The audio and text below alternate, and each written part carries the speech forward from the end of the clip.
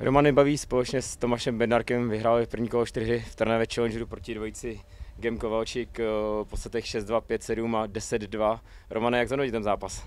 To zápas mě přišel, že jsme byli celou dobu lepší a nepovedli se nám dva gemy.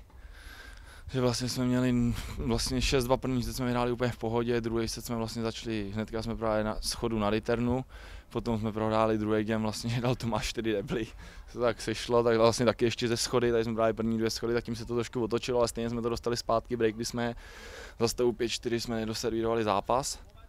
A pak se to úplně otočilo, že jsme měli dva gamy takový útlum 5-7 a naštěstí jsme šli jsme na záchod, trošku jsme to jako zapom- snažili se na to zapomenout a, tři, a super tiebreak jsme zahráli úplně bravurně.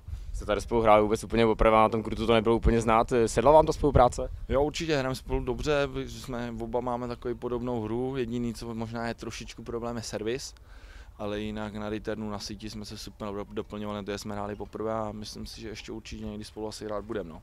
No, tam začátek, tam jedna, jedna, čtyři gomy v řadě, bylo to potom, že, že se cítili se dobře na tom kurtu, nebo?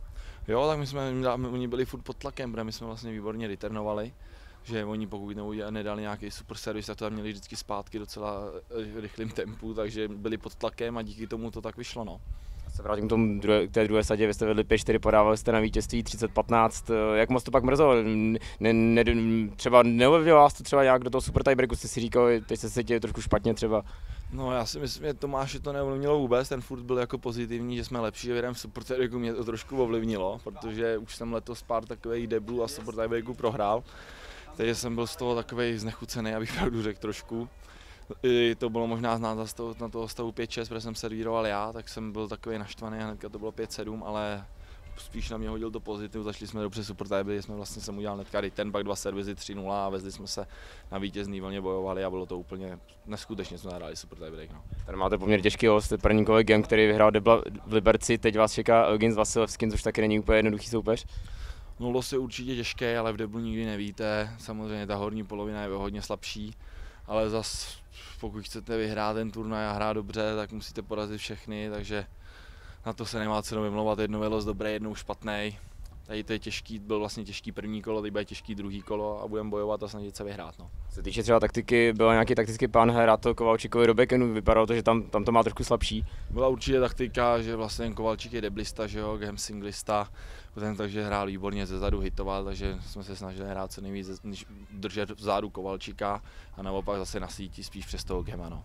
Vy jste dneska už odehrál jeden zápas v singlu, jak se cítíte po těch dvou zápasech, teď vás čeká ještě jeden třetí za hodinku?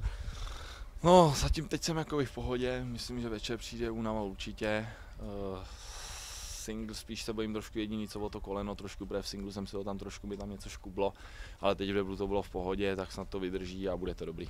Cítíte třeba šanci, že tím žebříčkem můžete podskočit, on vlastně za minulý rok, ten druhý půl rok vlastně jste neměl žádné body, teď vlastně můžete jít jenom nahoru. Určitě, no a teďka budu nějakých třeba 280 a mám 8 měsíců nulu, takže vlastně každou akci, co hraju body, tak přičítám body, zlepšu ranking, takže to není úplně jakoby špatná pozice. Ještě mám, když bych na ty silnější turné se nedostal, tak mám ještě ten Protecty žebříček, ten, ten zmražený 4, ten je 140, takže eh, pokud to půjde a budu hrát držet si level jako hra se tady v Trnavě, tak určitě bych řekl, že na konci roku bych mohl atakovat tak to, to 150. místo.